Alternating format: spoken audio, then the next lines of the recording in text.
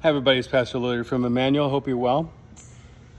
I want to talk to you a little bit about uh, the concept, uh, the reality of perspective.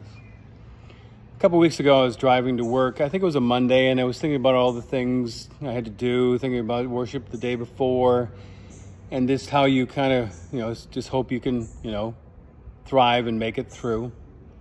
And I was driving um, from here to there uh, where I live to where I work, and there was uh, a traffic kind of um, stop, if you will, in the middle of my journey. Uh, a bunch of cars that were uh, lined up where they're not usually lined up, but it's Naples and traffic is a little funky. And so I waited until it was my turn to see what the reason was, and I noticed off to my right, near the sidewalk, there were about five or six city workers with a bunch of trucks and five of the workers were just standing around, but they were all watching this other worker that was standing above a manhole cover. And this person, man or woman, was in a full hazmat suit from head to toe. There was not one bit of skin that was uh, showing this. It was like, you know, someone on the moon. And the manhole cover was off, and there was a big geyser. It was going up probably 10 feet in the air and and the water well i don't how would i describe it? It was dirty. It was clearly not fresh water. And it was going up in the air and it was cascading down on the head of this person. And the body and the front and the back and the five or six people that were a part of this work team were all thinking to themselves i'm having a better day than the person who's in that suit. And the person in the suit is thinking, why did I draw the short straw? Why couldn't I be one of them?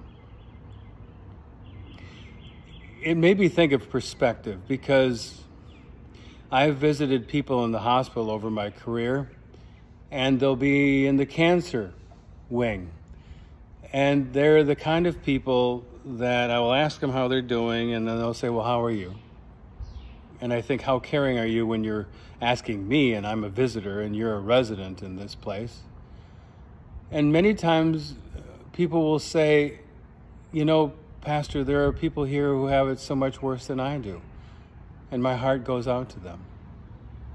And I thank God for the news that I have, the place I am at, that I have doctors and nurses, and the medicine in the United States is great, and I'm still worried about the future, but people are praying for me.